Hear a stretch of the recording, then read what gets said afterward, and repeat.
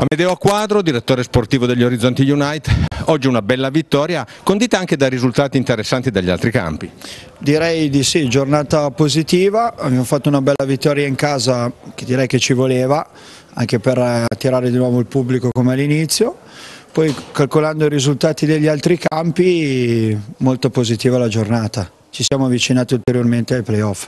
Senti un primo tempo dove praticamente la prima azione l'Omegna ha, ha, raggiunto il pareggio, poi un secondo tempo dove avete eh, praticamente dominato e chiuso la partita.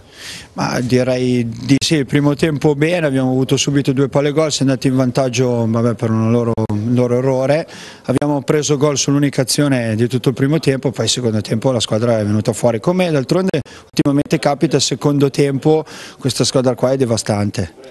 Sette, nelle, sette, punti nelle ultime tre partite, domenica arriva al Borgaro, bisogna dare continuità a questi risultati. Assolutamente sì, adesso il gruppo è bello coeso, sta facendo bene, si allenano bene, secondo me è il momento di dare l'accelerata giusta. Senti, i playoff che qualche settimana fa sembravano quasi un miraggio, adesso sono veramente a portata di mano.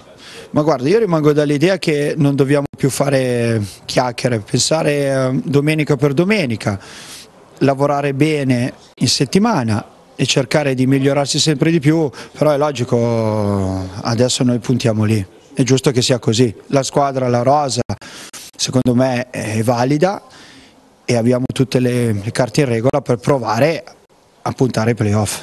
Sul campo state rispondendo coi fatti alle tante parole inutili, a mio parere, che si erano fatte soprattutto fine novembre.